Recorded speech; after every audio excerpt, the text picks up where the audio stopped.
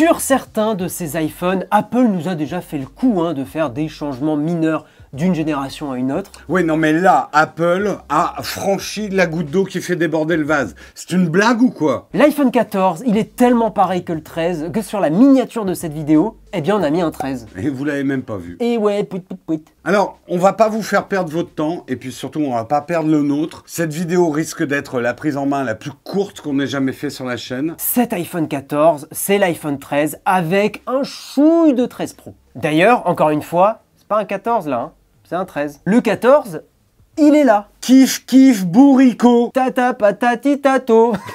Non, en vrai, c'est pas un mauvais iPhone, mais les nouveautés sont ultra mineures par rapport à l'année dernière. Ah si, il y en a une majeure. C'est l'augmentation du prix en France et dans le reste du monde. On a fait une vidéo sur le sujet parce que finalement, c'est le seul truc qui mérite d'être discuté. Bref, est-ce qu'on serait pas à deux doigts, voire trois, voire quatre, d'une arnaque? En tout cas, ça ressemble à une vaste blague.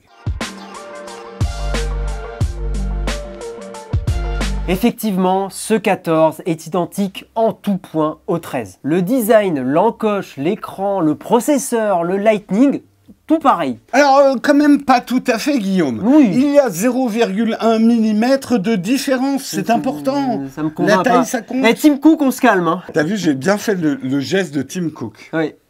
Euh, Il y a quand même des nouvelles couleurs. Aussi. Hein, Il y, a, il y a un- il y a un bleu qui, qui est bleu. Oui. Il y a un violet qui est pas très violet. Non, hein, euh, C'est très léger. hein. Ils ont tout, ils ont pas, ils ont plus d'encre. Pas, pas assez d'argent. plus d'encre Apple. Voilà. Alors, quand même, Oui. plus de puissance. Bon, c'est le même processeur. Oh, Oui. Mais ils ont rajouté un GPU. Bah ouais. Je sais pas bien. quoi- Ça sert à quoi un GPU Peut-être un peu pour les jeux vidéo et la batterie, mais franchement, c'est le A15. Le 14 a quand même emprunté la caméra grand angle principale du 13 Pro et ils l'ont mis dedans. Qui était très bien, hein, d'ailleurs. qui était très bien. Par contre, l'ultra grand angle, eh bien, on a celui du 13 de base. Les vraies mais très mineures différences entre le 13 et le 14, le Bluetooth passe en 5.3. C'est pour vous vendre des nouveaux casques audio et des écouteurs sans fil. Bon, après, il y a un peu d'amélioration sur l'audio. Il y a des choses quand même. Non, bon, on va pas bouder, Oui. 5.3. La détection d'accident de voiture, ça, on est content quand même que des choses comme ça arrivent sur les smartphones. Mais en vrai, dans cette gamme de prix, bah, on vous conseille de garder votre iPhone et d'acheter plutôt une Apple Watch SE si justement vous voulez cette fonctionnalité. Également, il y a le SOS satellite. Là, pour l'instant, vous allez rester perdu parce que c'est pas encore en France. Apple a ajouté aussi dans ce 14 un mode vidéo action, hein, qui est en fait un mode vidéo GoPro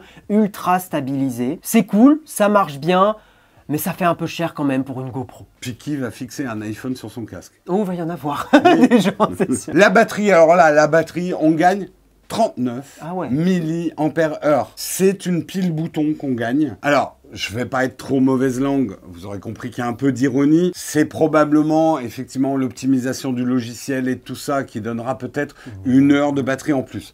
À tester. À l'instar du 14 Pro, sur le 14 normal, on a aussi la caméra frontale, euh, donc de face hein, pour les selfies, qui est améliorée.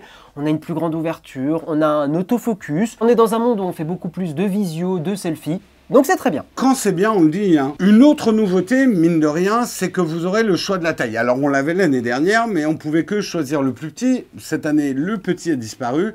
Vous pourrez choisir un plus grand pour plus de batterie. Et tout ça pour plus cher, et oui. En tout cas, en France et en Europe et dans plein de pays du monde. On va pas s'acharner plus. Vous aurez compris que c'est un iPhone qu'on ne recommande pas du tout à l'achat, en tout cas neuf. C'est pas un mauvais iPhone, encore une fois, puisque le 13 était bon.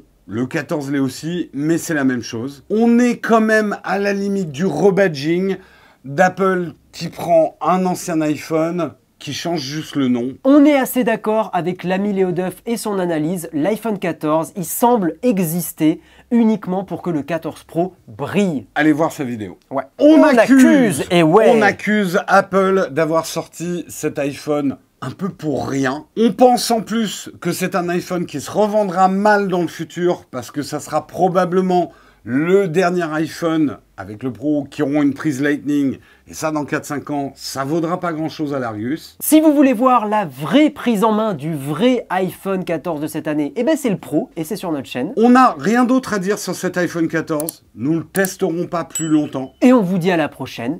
Ciao Ciao